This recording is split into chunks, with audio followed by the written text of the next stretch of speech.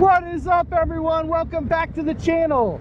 We are somewhere over near Annapolis. I, I, have no idea where I am. Thank God I have GPS. But my buddy Moto Mango wanted to hear a story. So I am gonna tell you all a story. And you could probably guess from the thumbnail, it's a story with no brakes. Not on a bike, but in a car.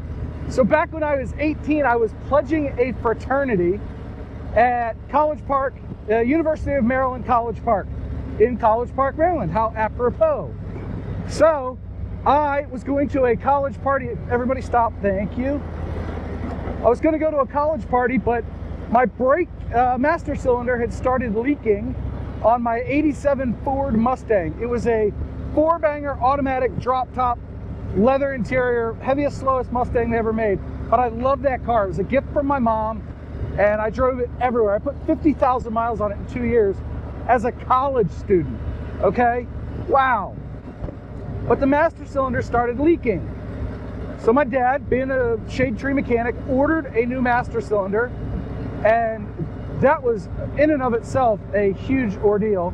To get to the brake booster, which we had to disconnect. We had to take the front driver's seat out. See, here I am upside down in this thing trying to get parts in and out of it.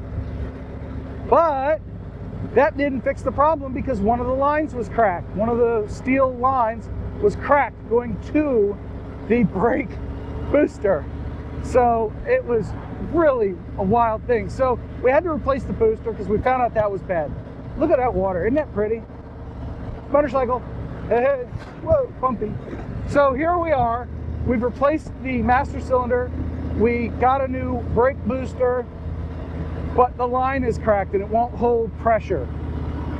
So what I did was, rather than take my 66 Plymouth Fury 3 all the way to College Park, which was like 30 miles, I decided I was going to take the Mustang. So I did.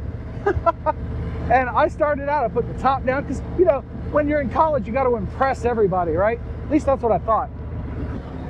So I put the top down on the Mustang and in the driveway, I gave it a couple of test squeezes on the old brake pedal there. Wee corner, this is awesome. I love this road. I'm gonna have to remember what this was. I think it's 179, St. Margaret's Road, look at that. Yep, 179. But uh, here I am in the driveway. I realized that I have the slightest brake pressure when I fully depress the brake pedal. I made that son of a sad. So with this now despondent brake pedal, it will stop the car, but it is not easy and it's kind of harrowing. But you know, your old buddy John's kind of an idiot and kind of a goofball, so I did it. Wow, this is interesting. These roads are really cool out here. I gotta ride these more often. Let's see, do we have, yeah, they all have stop signs, okay.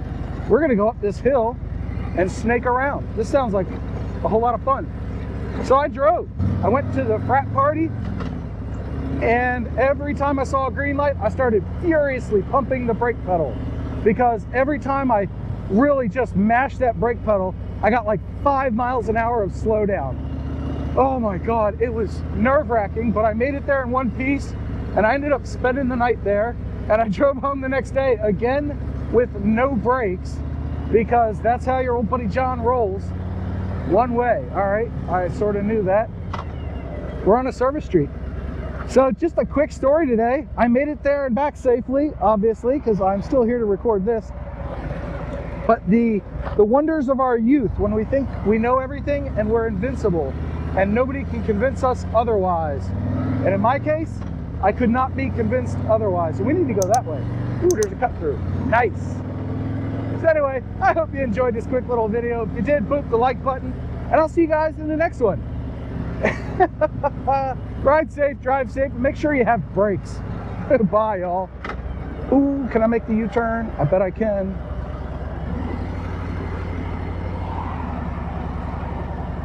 Look at that. Slow and steady, steady and slow. That's the way we always go. Bye.